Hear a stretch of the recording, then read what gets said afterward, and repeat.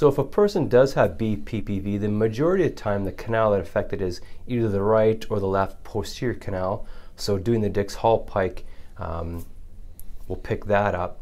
Now there are times where it can be in the lateral canal. It's not as common, but it can be positive in the lateral canal and the Dix Hallpike test may not pick that up. So if the Dix Hallpike test is negative, it still doesn't mean they don't have BPPV. We need to rule it out with doing the roll test. So basically the test position, I have Zach lying here, and um, the instructions are the position of the bed. It can be either flat or up to 20 degrees of inclination for the head, all right? So we have them up uh, slightly. We have the goggles on. And again, you may see the nystagmus um, in room light, but I have the tools, so I'm going to use them. Just make sure I don't miss anything. And I can see what's happening on, on the computer screen here. So Zach's comfortable here. And then all I do is I just come to the head of the bed. And Zach, we're just going to do some more tests here.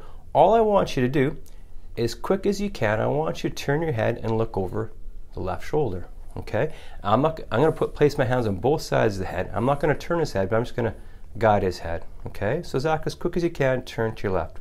One, two, three. All right. He's a bit competitive. All right.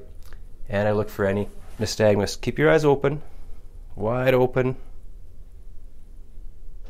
So again, we wait, see if there's any dizziness with accompanying nystagmus, wait for it to stop. And uh, if there was nystagmus and dizziness, that'd be positive.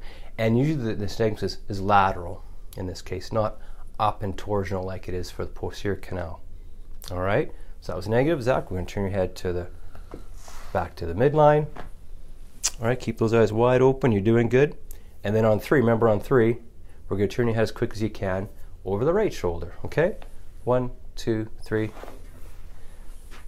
And again, I watch the computer screen and just tell me if there's any dizziness, Zach. Okay. Keep those eyes wide open. And again, we wait at least 30 seconds. All right? So that's the, the roll test. And if it is positive, you're going to see lateral nystagmus.